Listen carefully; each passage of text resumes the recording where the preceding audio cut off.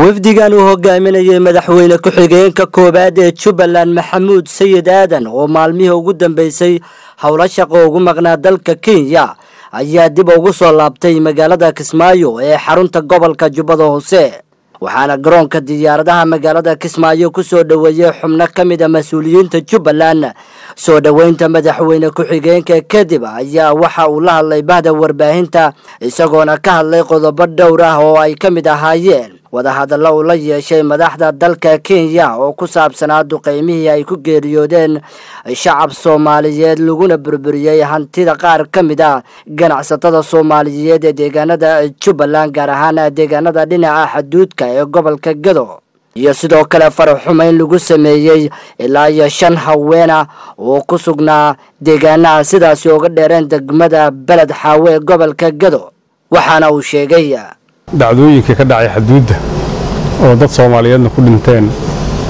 Hanti soomaaliyeedna lagu burburiyey iyo gabdhihii deegaanka beled xaawa lagu faraxumeeyey bal ciddii mas'uuliyaddaas laheyd inaan ka wada hadalno iyadoo hore madaxweynuhu meesha u tegey runtiina ay laga wada xumaaday in mas'uuliyiinta hay'adaha amniga iyo maamulada deegaanka dowladdan walaalahana ee dariskanaha kenya oo ay xaggeed arrintaa ka soo gudubtay in laga wada hadlo. Waa tii la lehi jiray haddeed akhyaartu waxayna foofsanin buu ardaalka u keenaa. Wixii marka ayna ayagu ku talagelin oo xaggooda ka yimid in sida looga daawoobi lahaa ama looga wada hadli lahaa aanu helno.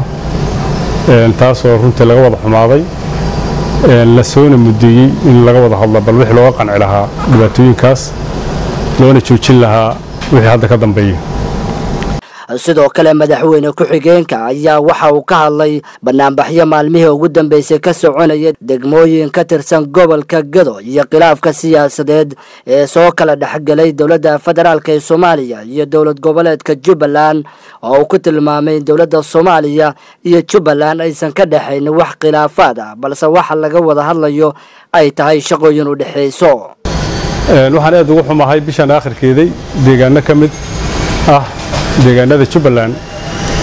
In laga abuuray xaalad aan caawinaynin dadka reer jubbaland kala qaybinayso abuuraysa isku dhac iyaga dhexdooda. Ciddii arrintaa ka dambaysay lacagaha ku bixisay abaabushay. Ama haa garteen ama yayna garan. Cidda ay cambaareeyeen oo ay shaarka ka sheexeen waa madaxweynaha jamhuuriyadda federaalk soomaaliya maxaa yeele dalkaasi aa madaxweyne ka. Ah waxaa laga yaabaa inayna garanayn aad baan ugu xunnahay. Reer jubbaland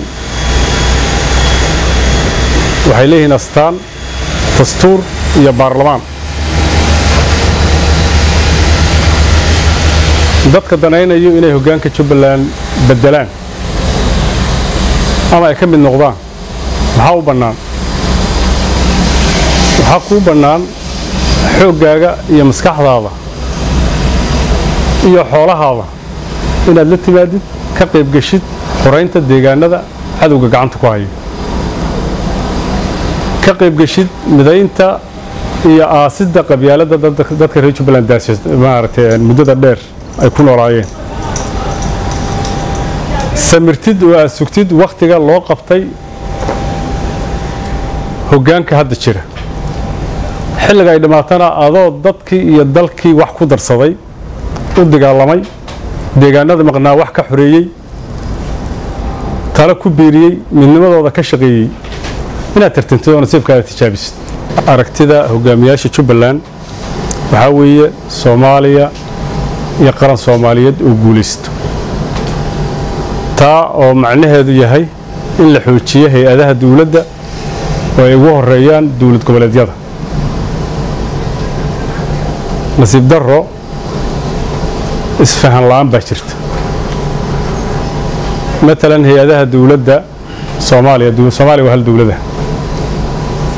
haddii wasaaradaha dowladda dhexe iyo kuwa dowlad goboleedyada hay'adaha amniga ee dowladda dhexe iyo kuwa dowlad goboleedyada isla fahmi waayaan waajibaadkooda sida caadiyanba dhacdo? Oo isku qabqabsadaan oo yidhahdaan qolaba annagaa lahayn annagaa lahayn.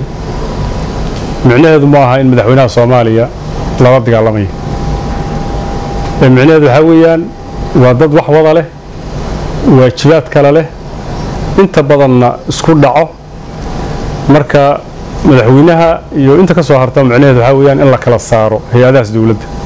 Maxamed qaasim cali waxar tv-ga somaali cable magaalada kismaayo